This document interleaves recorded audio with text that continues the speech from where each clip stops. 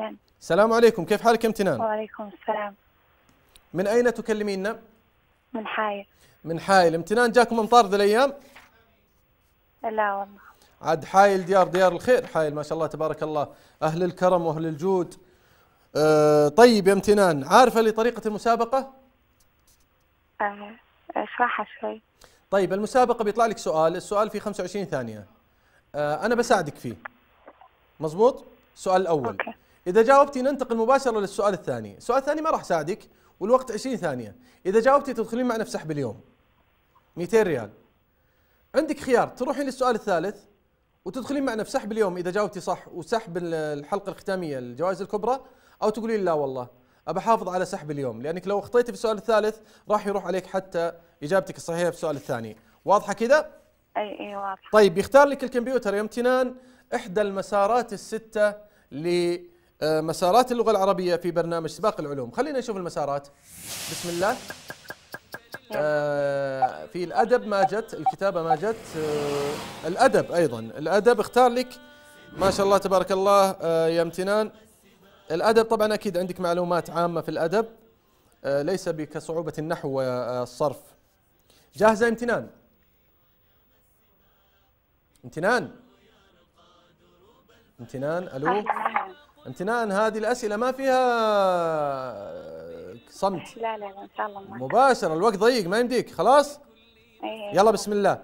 السؤال الأول يا امتنان يقول اسم الشاعر الملقب بالمتنبي هو محمد بن علي أو أحمد بن صالح أو أحمد بن الحسين؟ هاي امتنان. طبعا المتنبي معروف كلقب. محمد بن علي أحمد بن صالح أحمد بن الحسين.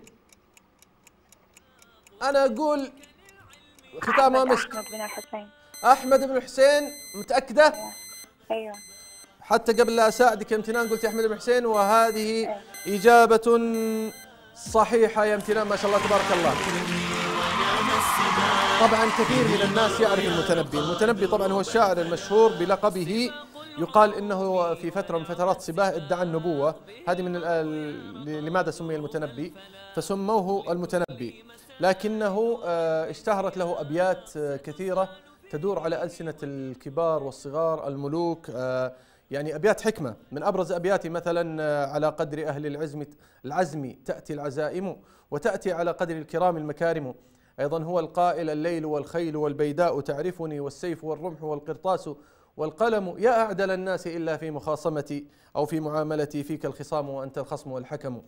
عنده أبيات المتنبي كثير من الناس يرددها ويكتبها في آه، آه، اللوحات والصحف ولكن لا يعرفون أنها للمتنبي. طيب يا امتنان. معنا يا امتنان؟ أي ما ننتقل للسؤال الثاني. السؤال الثاني يا امتنان يقول مؤلف كتاب الأدب الصغير هل هو ابن المقفع أم ابن الأثير؟ أم ابن المعتز؟ عبد الله بن المقفع. عبد الله بن المقفع ما شاء الله تبارك الله. امتنان جبتي السؤال الج- الإجابة من وين؟ من جوجل طبعا. إيش؟ من جوجل ولا الكتاب عندك؟ أي لا لا عارفة الإجابة. عارف الإجابة. ما شاء الله تبارك الله. واضح من إجابتك السريعة أنك تعرفين فعلا إجابتك الصحيحة وهي آه ابن المقفع مؤلف كتاب الأدب الصغير. ما شاء الله تبارك الله. امتنان دخلتي معنا في السحب على 200 ريال لهذه الحلقة. هل تقولين أبا غامر وادخل إلى السؤال الثالث ولا تقول أبا حافظ على المكتسبات؟ وش رأيك أمتنان؟ أي لا أبغى بتغامرين؟ أيوه. طيب. أنا لما شفت السؤال الثالث جتني بسمة كذا. لأنه فعلا مغامرة صعبة تكون. نستعين بالله؟ أيوه يلا. طيب. السؤال الثالث يا أمتنان يقول الضرب من مصطلحات علم الجدل أم العروض أم الاشتقاق. الضرب من مصطلحات علم الجدل العروض الاشتقاق. خمس ثواني. امتنان. خمسة. أربعة. آه، الإجابة الثالثة الثالثة. أه، الاشتقاق؟ أيوه.